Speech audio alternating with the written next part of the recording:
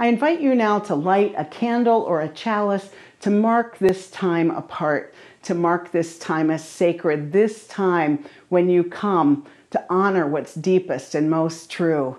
to celebrate the beauty of your own heart's longing, and to cultivate your commitment to care for yourself and others, and the courage to act. I invite you now to light a chalice.